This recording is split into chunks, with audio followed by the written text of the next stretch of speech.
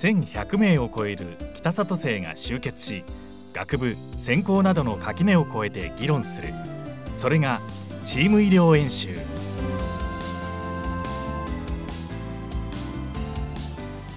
この演習は4つの医療系学部と2つの専門学校の学生たちが相互に連携し2日間にわたりチーム医療を考える教育プログラムです。医学部教授である吉田和成実行委員長にお話を伺いました。チーム医療演習ではみんなが集まって他の人たちが何をやっているのかそれの相互理解をすると。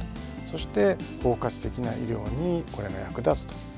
まさにそれをですね学生のうちから演習として実践するこれがチーム医療演習の目的ということになります。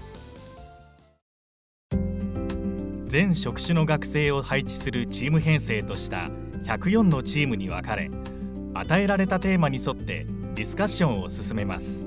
チーム90に与えられたテーマは大学病院における医療安全。資料を読み込み患者さんの置かれた状況を確認していきます。6.3から8.0です。基準値。でアルブミン115から359だから高くて。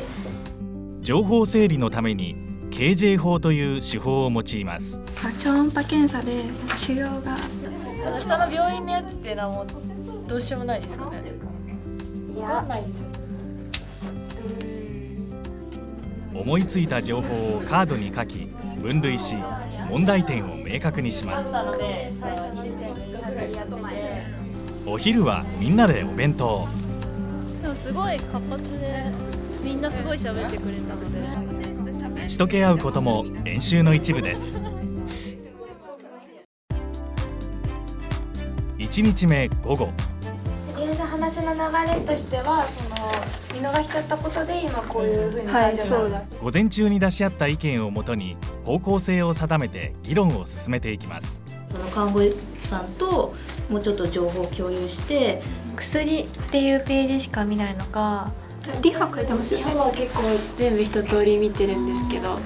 リハは各職種ごとに意見を出し合います。とりあえず情報共有の場としてそのカンファとかもっと共有していく必要があるってこと。多職種間の情報共有。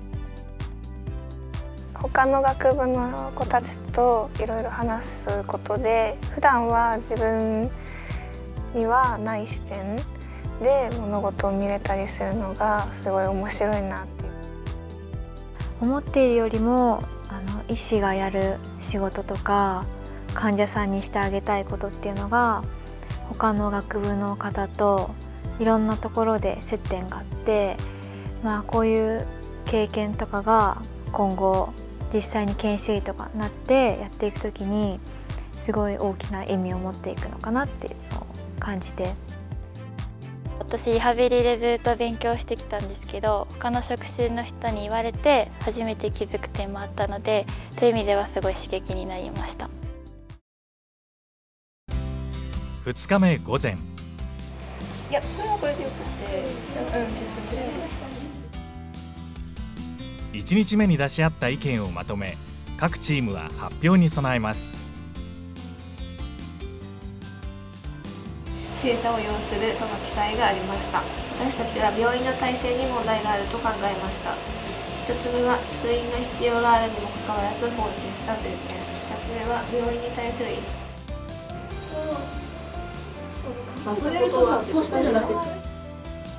2日目午後。ディスカッションを重ねたどり着いた結論を各チームが発表します。中止はどう判断しますインフルエンザなどは適用されると提案。臨床工学技師指導訓練士。大阪としてはそこら辺でそういう ICT さんと質疑応答も活発に行われています。いよいよチーム90の発表が始まります。私たちは病院の体制に問題があると考えました。院内での情報共有の姿勢を作ることが必要だというふうに考えましたまとめるとチーム医療をすることは多職種が関わることです。最も大切なことは職種間と患者との密なコミュニケーションをとることです。今後働く上で日々の会話や情報交換も大切にして信頼関係を築いていきたいです。以上で終わります。ご清聴ありがとうございました。私が一番年下で唯一の3年生だったんですけどその年上の人とか私よりもっと知識がある人に対して自分の意見を言わなきゃいけなかったのでそれがすごい難しかったなって思いました。